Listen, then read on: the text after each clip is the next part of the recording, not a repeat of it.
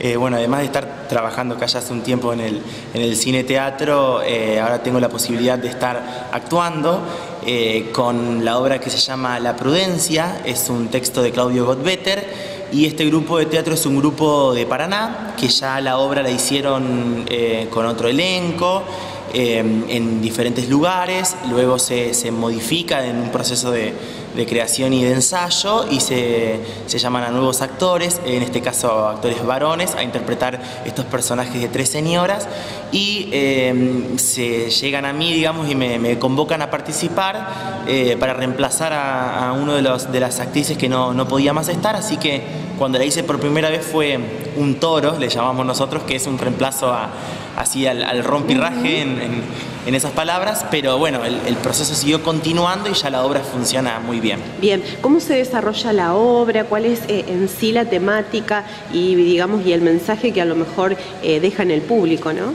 Bien, La Prudencia es una comedia con humor negro, pero aclaro que es para toda la familia.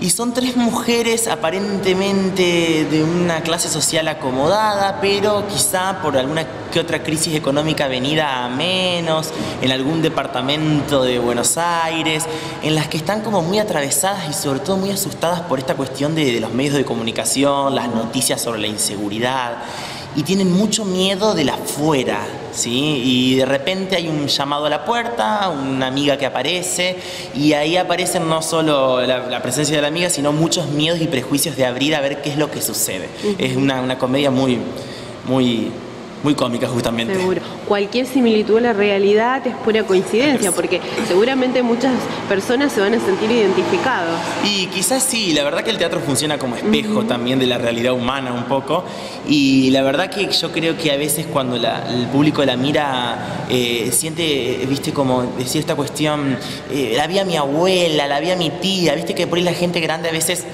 de una edad muy avanzada, obviamente, tienen como un poco de miedo de la afuera. Entonces esto como que es una, parodia un poco de eso. Exacto, promete ser una temática interesante para que vengan al cine. Sabemos que las instalaciones cómodas de este lugar eh, hacen a que bueno, todo el público pueda acercarse. Sí, la verdad que la biblioteca y Takuru están trabajando para que este espacio funcione cada vez mejor y hay eh, calefacción, hay un lugar muy cómodo para estar, así que la verdad que es un placer ver siempre teatro.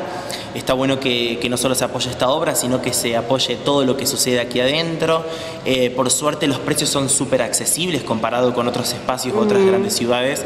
Están trayendo obras de teatro, también eh, shows musicales muy seguido, con un precio muy accesible, que, eso ayuda a que la gente se pueda acercar. Exacto, las entradas ya están, eh, digamos, a disposición de quienes estén interesados. Sí, se pueden acercar a la Biblioteca Popular, que a comprar las entradas anticipadas salen 100 pesos, y si son socios de la biblioteca, 80, y si no, directamente la pueden comprar aquí en Puerta a 120, que es un poquito más arriesgado, pero bueno, supongo que va a haber capacidad porque la sala es muy grande. Exacto, recordemos qué día y en qué horario. Bien, entonces este viernes 3 de agosto a las 21 horas, acá en el Cine Rivadavia, La Prudencia.